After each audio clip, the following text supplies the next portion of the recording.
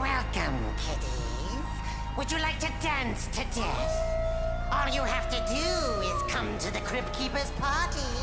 A monster bash, if you will.